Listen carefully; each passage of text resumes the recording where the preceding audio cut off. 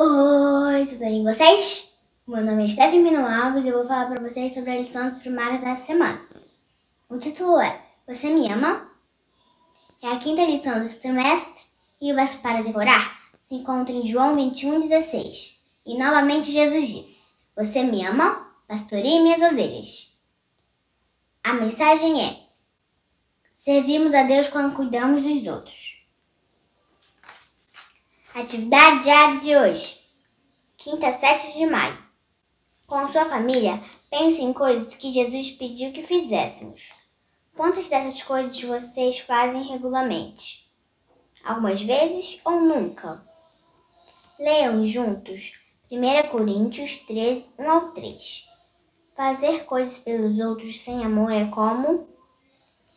Fazer coisas pelos outros sem amor é como não fazer nada por eles se a gente doar alguma coisa para uma pessoa que não tem, tipo comida, e se a gente não quiser doar, não vai adiantar.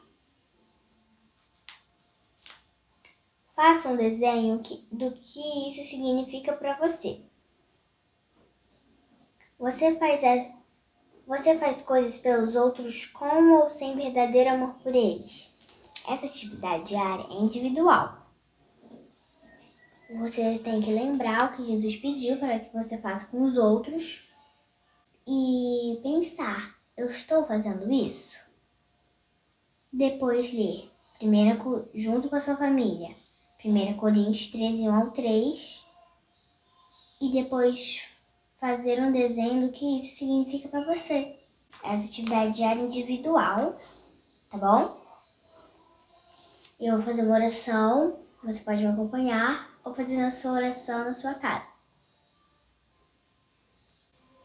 Querido Deus, muito obrigada por me dar a oportunidade de ajudar as outras pessoas.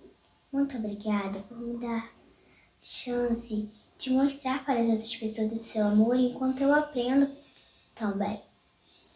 Muito obrigada por me dar mais do que eu preciso para eu poder compartilhar essas coisas com as outras pessoas.